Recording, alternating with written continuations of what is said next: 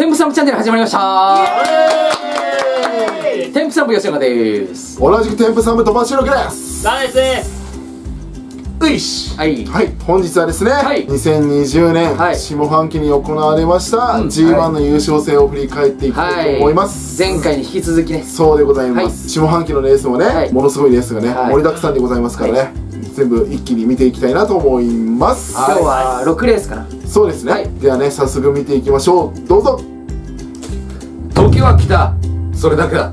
こちら2020年。うん。7月26日飯塚オートレース場で行われました、はい。第63回 G1 ダイヤモンドレースの優勝戦となっております、はい。この時もね、うん。東日本勢の圧戦はなかったはずなんですけれども、飯塚さん用だはい。ね、また荒尾選手もね、はい。しっかりはい。乗ってきておりまして、はい。地元のエースの役割を果たせるかどうかというレースでございねます、8番からね。はい。さあ 10m オープン。はい。雨でございます。確かに切りかかってる感じだスタートそうああ滑った。6番が滑ったねこれ雨強いの荒尾選手雨強いんだっけ荒尾選手といったら雨、雨といったら荒尾選手、これはさすがにね。はい。すごいね。うわ来た来た来た来た。ほら。すごい荒尾選手がただね、あの雨降っちゃうと、もうインコースしか効かないんで。そ、っか。逃げ切る感じになる可能性もある。ほとんどの選手がインコースを抑えて、ん。あの抜かせない競争をすると、うん。うん確かに中尾選手もぐんぐん一進できる可能性あるね。そうです、ただ距離をうん。詰めていく、詰めてはいくね。そう一本道になってるから、荒尾選手でもなかなか手こずると、さあ、どうなるか、まあ1番のミス待ちみたいな感じになってるのかなもう。8番も。だから雨の日だからね丁寧にうん。滑らせないように丁寧に乗って追っていくと、さあ、ここでね、差を詰めて、詰めて。はインにお荒尾選手があ来たがだけどまあさすがにね抑える。丁寧に丁寧に。あーあ、はい。うんチャンスオーカがそしてね、ダイヤモンドレースといえば、うん飯塚のね、名物レースでございまして、で地元の飯塚勢はね、何が何でも、ん。ダイヤモンドレースは優勝したいと、はい。そしすごいすすごい。ごいツッコミ、うん。そっから抜く。そしてさあ中尾選手も差しにきますが中尾選手がこうなっちゃとうとね。も中尾選手もね地元の選手ですから、何が何でも優勝したい。う18勝ってた人はちょっとねうわーってなってたちなみに18勝ってた人はうん。ここにいまあす、いるんだ。なるほど。はい。これは確かに18勝ってたらはい、厳しい。ね中尾選手が、もう盤石のん。走りをねここから披露するということで、うん。インコースくるりと回って滑らさずノーミスで。抜かしてからは距離が結構離れていく。どんどん引き離すね。さすがに。すごい小さいコースもあって。うん。114決まんのかなこれはこのね荒尾選手の内戦をなぞる走りこのくるっと回ってうん綺麗ですね。これ1番は売れてたり。一番もそこそこ売れてたの。青旗振ってる人のほぼ真横を通過していくっていう。怖いだろうな。旗振る人。旗当たっちゃうんじゃないか。814かなさあ荒尾選手がはい。地元のエースを役割をねあーさすが。果たしたということで。雨の日だからね。はい、見事ダイヤモンドレース優勝ということでおめでとうございます。あ3000円ぐらいか。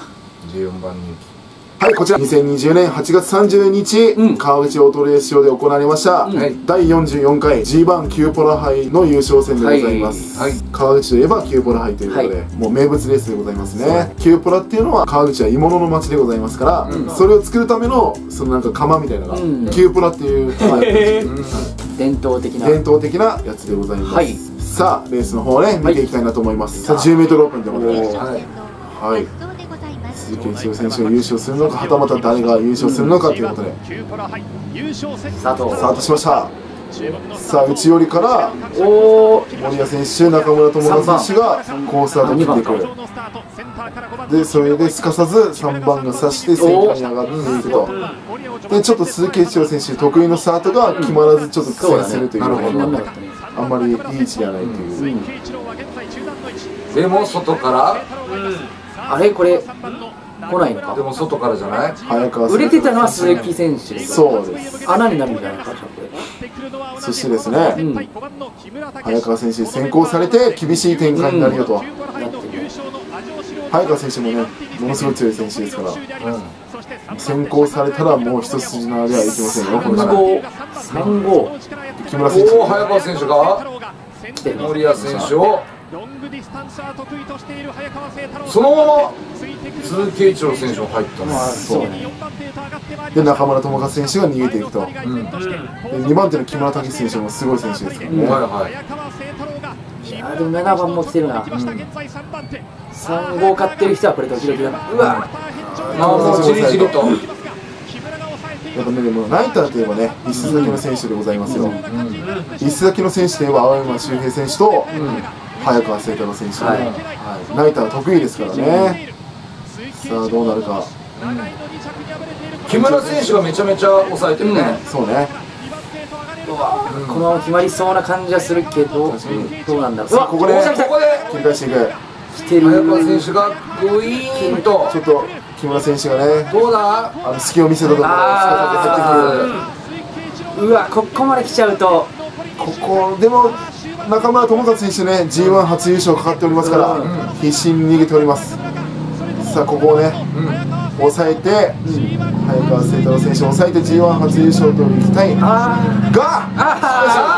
そこを許さない早川聖太郎選手の差しが見事に決まると、はいはい。許してくれよと。でもすかさず差しもう一度ああー。届かず。3買ってたらこれは。そうですね。なってたな。73 73 735 5か。で決まりました。鈴木選手はここまで来てたけどね。うん。8000つくんだ。8000うん。中村智和選手ね惜しかったと、はい。で早川聖太郎選手はおめでとうございますということで、はい。次行きましょはい、う2020年うん。9月13日伊勢崎オートレース場で行われました。第27回うん。G1 ムーンライトチャンピオンカップの優勝戦でございます、青山周平選手がいまして、であまあ雨でしたからね、うん。あ雨だったんだ。はい、さあはい。一体どういったレースになるのかねご覧いただきたいと思います。さあ雨でございますよ、で伊勢崎といったらですよ、うん。あのーねインコースがね効くソードでございまして、もうインを取った者が勝ちます、なるほど。は誰がインをそ取るのしたらねか8番不利だけど小林瑞希選手。うん。い、吉田圭佑選手も雨ものすごい上手い選手で。8番めちゃくちゃ不利だけど来てる。来てるじわじわと松尾選手が？外からきますが、おー。あれ青山周平選手が着々と。来てますね。うわうわうわ。おおすごい来た。からインうわ来た。でそうです、俺が来たっつってるね。オールマイトみたいな。うん。いやでもどうなんだろう。まだまだね。うん。分かんないね。でちなみになんですけども、この1号車、2号車、はあのこれ優勝すると G1 初優勝、おおいなるほど。でちなみに1号車は一般開催も、のレースでも優勝したことないので、えあのデビュー初優勝になると。初優勝がなる G1 すごいぞえじゃあもうめちゃめちゃ一番頑張ってほしいですね。う2番も記念レース初優勝に向けて。んうわーでも。記念レースも取ってほしい。あれでも青山選手終えてないぞ。ああグイーンと来てる。ああ来るかグイーンと。抑えるただ内側を抑えちゃえばさすがにね青山佑選手でも初優勝を狙って必死に寄っていく。そしてあれ着々と来ちゃってるね。よおお鬼が来てるぞ鬼が。これもう逃げて逃げてくれ2番1番恐怖でしかないでしょ。ねまあ買ってる人もねうん。21とか12で買ってる人ね逃げてもううん私も2で勝ってたんでやめてーって言ってーやめましてたーって。まやめてっていう言い方あれなんですけどあまあ買ってたらそれはなるよね。そうなっちゃう。うわ。やばい。あすごいすごい。外から。まさかのあー。すげえあーこれはすごい。ってなるとで今度はまた内から。うん。あーでもどうだ？あと一ーやばいで周。抑えてインコース抑えてるから青山新平選手外外から幕にかかる幕に行っていく。おっとおっと。滑った。35下がっ21だった21これでさあどっちが優勝になるか、うんさあ吉田圭佑選手もね、もう初優勝をめがけて渾身の差しを狙いますが届かずと小林瑞希選手が見事抑えてコーナーをきれいに回って218はい G1 初優勝となりました。すごいレースだった。はい。すごいわ。うん、雨だから。我慢のレースだったね、うん。小林選手は。7000か。うん。途中俺ホラー映画見てるかなと思ってホラー映画。逃げてーっていう感じ。逃げて ピンク色の鬼が。21もよく耐えたな。いいレースでしたよ。2020年はい。9月23日山陽オートレース場で行われました。特別 G1 共同通信社杯プレミアムカップの優勝戦となっております、まあ、プレミアムカップっていうのはね、年に2回行われますから。ああそうなんだ。はいはい。ゼロオープンなんだ。このそうですね。A 級者いても。そうです。うん。実力的にはまあ結構合格なんで、うん。それもねなナイターとなりまして。一番に青山選手いったらもうはいうん。これは。18時の発送だったんでナイターになりましたさあおーっと青山修平選手と早川聖太郎選手がうんさすがにこ内側から、こうん、123と綺麗に、うん、枠内となりまして。ここからどう抑えるかナイターなんでね、ナイターっていうかその、まあ、時間は6時ぐらいなんですけども、暗くなってナイターになりましたから、はい。もうこうなったら伊勢崎選手がね、あの幅を利かすと。青山選手と早川選手。うん。そうですガチガチの展開だねこれよくね、この2人はね、結構 SG の優勝戦でガチガチにやり合います。もうだって2人の攻防になって。そうです攻防というか結構青山選手とかもうぶっちぎる感じなんだよなんかもうこの影がかっこいいなあライターね。あナイターナイターの確かこんなソロってかっこよかった。確かに。何が起こるかは分かりませんが現在3番手はダークライダー篠原選手追ったところが鏡が現在食らいつきの4番手石野選手はもう追っていけないよと。もう、あーもう、もうダメーってなってますね。ダメーダメーっ篠原選手が抑えてる。そうですね。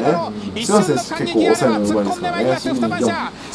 で早川選手ね、いつも青山修平選手にね、やられっぱなしですから、意地を見せたいところなんですが、青山修平選手もね、優勝したいと。G1 ってあのこのプレミアムカップってねもう SG 優勝するのとまあほぼ変わらないぐらいの技ですからねさあ早川聖太郎選手が外振って青山修平選手のインコースを狙いに。入るか入ったさあえ入れるんだ。こっからだな青山修さあでもあと一平選手のインコースをね突破していく選手を抑える早川聖太郎選手さあどうだろういつもやられっぱなしでしたがここでね雪辱を果たすとさあ抑えるか見てる我々としてもね、ちょっと青山選手勝ちすぎなんですね。その穴にならないからね。うん。すインコース締めて青山修平選手外まくりに行く。まくりに行く。最後の直線勝負。最後の直線勝負。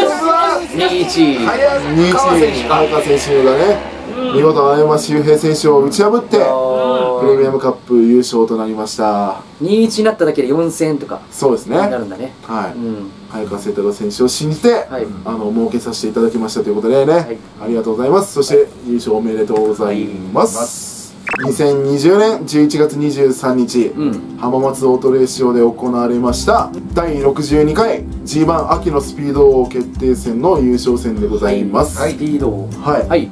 こちらね絶対王者高橋充選手金子大輔選手荒尾選手、でそしてね鈴木一郎選手がいるレースとなっております、03社ね10が5社となって10の選手すごいね。中野徹選手っていうのはあんまり見ない感じかな。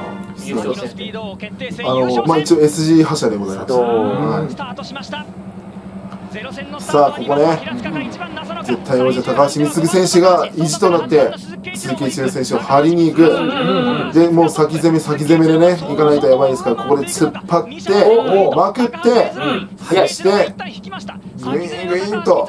外から？伸びるね伸びて。外から？伸びて。すごいすごいすごいすごい。でそのままの勢いでインコースさしていく。インコースをすごいす。ごい。で、ね、速攻でね、先頭上がっていくとすごいなんかもうコンボ技みたいな感じだったコンボ技外内外内みたいなそして鈴木選手が今ね2号車のインコースにね引っかかったことによって5番が差を広げていくと。1 1位残るのかこれ。さあ絶対王者高橋光選手がね逃げていく。512とか結構つくんじゃない？512とかだったら大変だったね、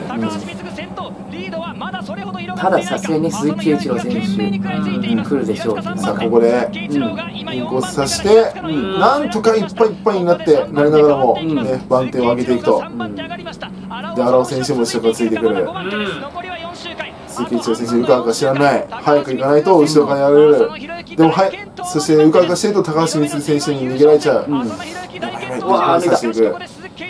もうすげえこれなんか荒尾選手楽してんなって思ってる。荒尾選手がついて回ると、で三井選手がもうご覧の通り、ね、結構な差をね広げて逃げておりますよ、これはさすがにね。これ荒尾選手ああやっぱり外から。ね、そしてねまあ結局この3人が選手が必死になって追っていきますが、ね、絶対王者高橋光選手がね先頭立っておりますよ、はい。さすがに開いてるね、あでも選手が追っていく。でもさすがにこの点差になったら鈴木選手も抜くのいやでもくっついてはきてる、さあここでねインコース狙いが締める、すごい。締めてた、そして外を選択して、で最後インコースあ外かな？外うまくいっていく。さあ直線勝負！ゴー！58でしょえこれ8号じゃなかった今これ慶一郎選手が最後おおマジでそうなんだすごい今58と思ったら、うんええコー！ナー！立ち上がりが早かったね、やっぱりウイシの目に狂いはなかったねで8勝ってる人はうわー！ってなって、5勝ってる人はもう本当に後ろからバックドロップですよ、ね後ろいやだからまあガー！ってな後ろがもう冷えた八宝菜。あのドクター芸人方にねあの冷えた八宝菜になった人がここにおります。冷えた八宝菜笑いながら倒れるんだけどねあれは今のはあれだね。さ写真判定とかになったんだろうね、そう、うん。俺が冷えた八宝菜になりましたといういやもう冷えた八宝冷えた八菜いいわ宝菜いいよ。最後。うん。2020年12月20日、はい。山陽オートレース場で行われました、第55回、はい。G1 スピード決定戦の優勝戦となっております。はいはい。はいもう鈴木一郎選手青山修平選手ね、はい。もうおなじみです。さあどういったレースになるのでしょこれはインコースの二村選手がトップそうねいやいやいや。いや青山選手5番か。うん、鈴木選手が内枠にいるわけだから。鈴木選手がいっちゃうあめちゃめちゃああ鈴木選手だ。うさあインコースからね。木村武史選手が張っていると4番の鈴木一郎。さあ地元のねこの345以外全員地元ですからね、はいはいはい。で6号車の佐々木選手がね差しうわ。ちょっと離れて、鈴木一郎やり合っている。慶一郎選手早かったな。木村武史が2写真リードですね木村武史が先頭で2周のバックストレッチ。もうこの人もね鈴木一郎が追い上超一流のレーサーですから。青山周平レースを作り頭立ったらねそう簡単には抜かせないよと。抜かされないし。上がってくるところ。後方は1番2村三2村二いやめちゃめちゃ締めてる感じがするね。うん現状地元の人は3着まで入ってないってことだそういうことになります。強豪外来勢が先頭2番手3番手独占中さあ木村武史選手が先頭立っちゃうと佐々木はその後ろ4コーナー結構立ち上がりますサイン入って厳しいよとこの人もテクニック半端じゃないですから。4番鈴木う一郎がちは諦めてる感じ。インコース上がってくるのオートレーサーがその整備とかその忙しい時でも手を止めてでも見るぐらいの選手らしいですよ。青山周平が木村選手が出てる時はうまいってこうまいっていうのでもうお手本になるらしい。芸人で袖で見に行くそうよそうそうそうなんかめちゃめちゃ丁寧な感じする。相手でもうだって外を攻めない。もん。ねあ2人で4番5番も外はあ内は諦めて外にお手本の走りする選手らしいです。すごいギリギリまでいいンクね。うん。3番木村武史ギリギリまで。2日目から抜ける雰囲気がない。というない毎日整備をしてまいりました。もうミスもせずもう悠々自適と、ね、ソードを踊ってるかのように3番が、後ろを外からは無理だねさすがに。3番手と4番手が距離縮まんないあたり結構スピードが速い。よね青山周平は3番手になった。なんとか外から行こうそうですすんだけどコーナーに離されて走っている木村武史そして鈴木一345で。でも全然諦めてないね鈴木圭一郎もちろんです優勝したいから。さ郎あもう一回もう。一回最後最後行くぞって。だけど外は厳しいか。そんなもう揺さぶりには一切動じない木村選手の長年の経験がね。菅松春選手を抑え込んだということで。インサイ締めとていいんだみたいなそうね。さあ2020年の G1 は木村武史選手が締めたということでね、ガチガチだね。木村選手。1200円。ね武史選手優勝おめでとうございますさあ、はい2020年の下半期 G1、はい。優勝戦を振り返ってきましたが、はい。こちらもね、うん。すごいレースばかりで初優勝もありましたし、うん。2021年、うん。G1 レースどういったレースになっていくのか、はい。楽しみにしていきたいと思います。大体同じ時期に行われる感じだよね。はい、本日の動画ここで終わりにしたいと思います、この動画が良かったと思う人はチャンネル登録高評価よろしくお願いします。よろしくお願いします。ご視聴ありがとうございました。明日。チャンネル登録お願いします。